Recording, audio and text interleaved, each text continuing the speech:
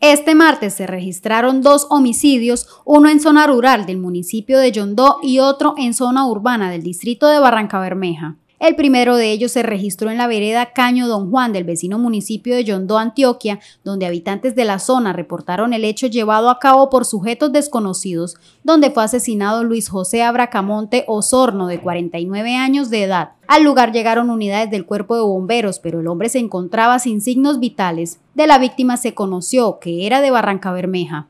Posteriormente, en horas de la noche, se registró un atentado sicarial en el barrio 9 de abril, en cercanías a la cancha Polipolvo, donde, según versiones, sujetos desconocidos dispararon contra Marlon Brandon Martínez Sea, de 27 años de edad, causándole la muerte de inmediato. Con este hecho violento, la cifra de homicidios en Barranca Bermeja lamentablemente asciende a 74. Se espera por parte de las autoridades un pronunciamiento oficial con respecto a estos casos.